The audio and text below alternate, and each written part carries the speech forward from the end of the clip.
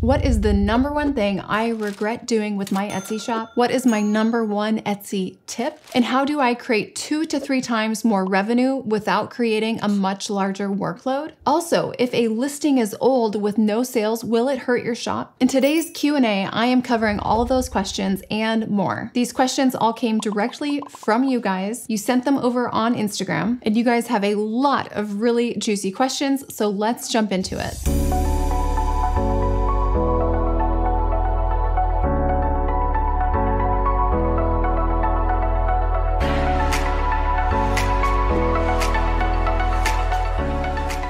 Welcome back to my channel. My name is Dylan Jahraus, and I am an Etsy shop owner of almost seven years. I've sold over $1.4 million in revenue on the platform, over a million dollars in profit, and my entire background is in corporate e-commerce. And now I teach Etsy sellers just like you how to grow a multi six-figure Etsy shop through my program, the Multi Six-Figure Etsy Blueprint. So last week I put out a thing on Instagram asking for questions, and today I'm going to do the Q&A part one, answering all of your questions, and I I'm not skipping anything. What is one thing you regret doing with your business? I would say, hands down, it was holding on to production all by myself for so long. I'm a bit of a control freak, and I held on to production for the first like six and a half years. I really should have trained someone in on production when we hit that 100,000 mark for profit, but I waited until we were over $300,000 in profit to even get someone trained in on production. I really held our business back by doing that, and that is my one regret. Are you going to do an investment property real estate course? This is interesting. If you kind of know my story, you know that we invest all of our Etsy cash flow, well, not all of it, but we invest a lot of it into real estate and most uh, recently multifamily real estate. I would say my husband might do a course on that. As of right now, he will be getting out of the military in about two years. It'll be around the 15 year mark, which I know people think is crazy to get out before 20 years. But at this point, you know, it really doesn't make sense for for him to get out of the military and go get a corporate job where he's making, you know, $200,000 a year because he can really contribute so much more value than that to our current businesses. And he has this real itch to do his own thing. Real estate is one of his big passions. And I could definitely see him going deeper in that arena and maybe taking a course or getting a mentor. But for right now, he is a huge fan of the BiggerPockets. That's where he's kind of doing a lot of that education right now. Okay, if a listing is old with no sales, will it hurt your shop?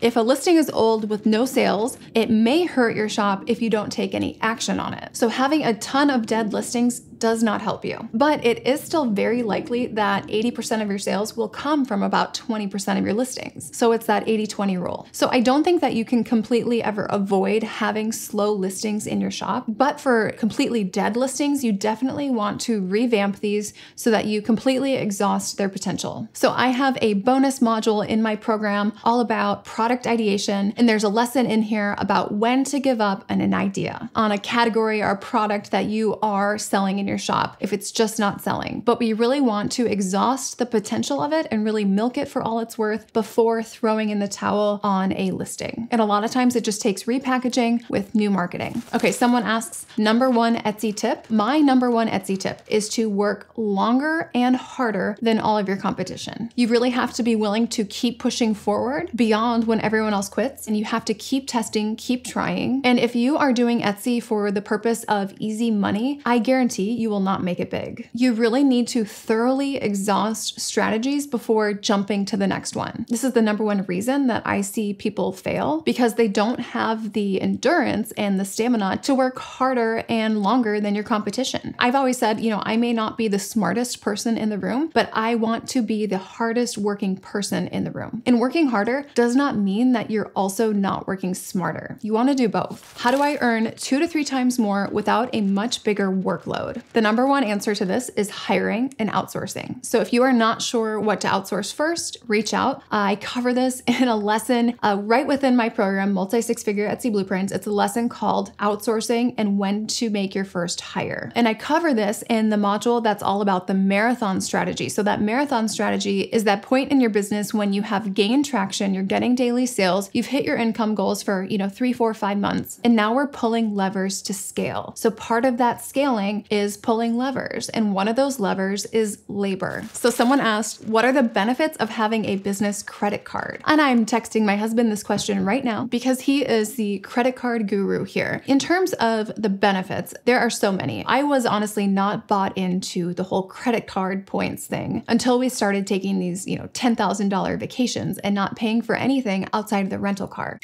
So definitely follow the points guy. But if you are running, you know, a $300 to $500,000 a year business, you likely have some business expenses. And you might as well get the benefit of having those expenses by paying for them on a credit card. So obviously pay off your card every month. Do not be racking up debt here. So what we like to use these business credit cards for is travel perks. You can literally travel for free. My husband has really learned the skill of transferring travel points between cards and between between airlines to get everything fully covered. Not to mention, you know, all the airport lounge access, you know, these free $100 credits to different websites, things like that. So we have the Amex Business Gold card. We use it because it offers the best balance between bonus points categories and earning a transferable points currency. And that transferable points is what allows us to maximize our redemption value. And we do that by either redeeming the points for cash or transferring them to an airline's frequent flyer program. At what point did you feel ready to invest in a property? I just made $110,000 from Etsy in 2022. So we invested in our first property in the first year that we did Etsy, closed on that home in 2017. That year we did $134,000 in revenue on Etsy. But because we only had one year of revenue from Etsy, it didn't really help us in qualifying for the home or anything. At the time, my husband was also bringing in about 175, and it just made sense. Interest rates at the time were 2.25 5%. So we were 26 and 28 years old. Some mistakes we made here was we should have done this much sooner since we had the VA loan where we really didn't even need to put money down. The second mistake we made here was we put about $250,000 down on that house and it was about a $554,000 house. So some big lessons learned from that. And from that point on, we invested in another single family home in 2021 and then a multifamily property in 2022. So the timing of those was really because we just had way too much cash flow coming coming in from Etsy, and we were already doing a lot in the stock market. So our current plan is about one property a year at least, just to put the cash flow that we're getting from Etsy to work. And right now we're actually looking into that short-term rental property investment just as a way to take advantage of accelerated depreciation since we are not real estate professionals. What can the view to visit ratio tell us about our listings? So the view to visit ratio is really how many people are seeing your listings in search results versus how many people are actually clicking on on those listings. And you want these to be as close as possible. If these are drastically different,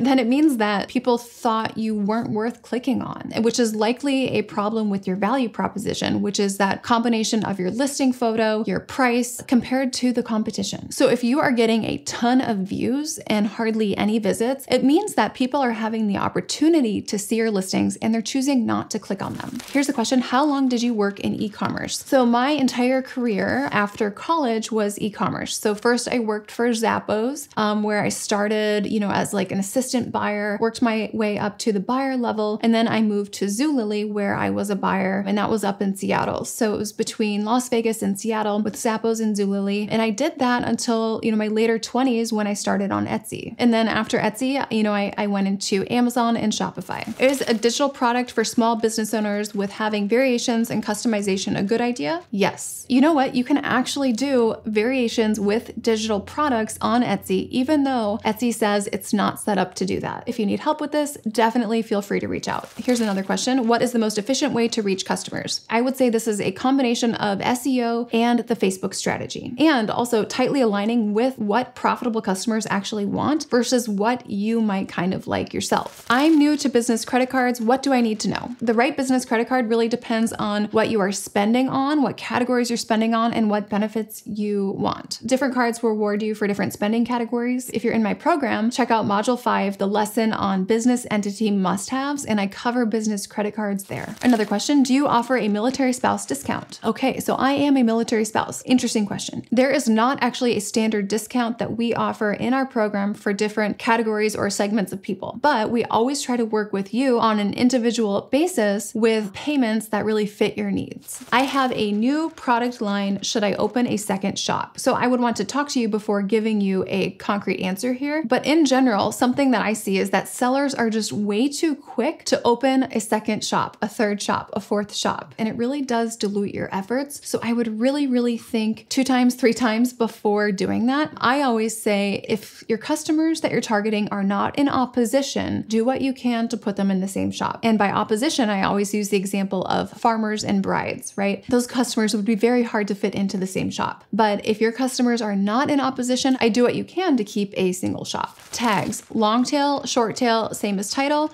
or specifics, hidden SEO like image names, etc. Okay, so tags. Yes, this is where SEO matters. And what I will say here is consistency is key. I do cover this very in depth in my program. If you are interested in more SEO help, do you think newsletter marketing works for Etsy sellers? Some Etsy coaches say that email marketing is very important, but I have found that unless you have time to be consistent with some type of a newsletter, it can really be a waste of time to distract yourself with this. There are much more profitable ways to be spending your time. So if your goal is to build, you know, a cult-like following, a community while driving sales, there are much more profitable ways to spend your time to do that. So long story short, sometimes I think email marketing for Etsy sellers can be a big distraction to actually driving sales. What about recommendations like never try to edit or improve listings that have some sales? This is not at all true. The thing is, you just want to make sure that you're only making changes to the parts of the listing that are not helping it get sales. So you can tell on the back end what SEO is working for a listing and what SEO in that listing is not working for it and not helping it. So never change the good stuff that's working for it, but definitely replace what's not working. How do you scale your Etsy from $10,000 a month to $40,000 a month? So this is all about pulling levers. So there are so many levers to pull on Etsy, um, ranging from your product mix, your pricing,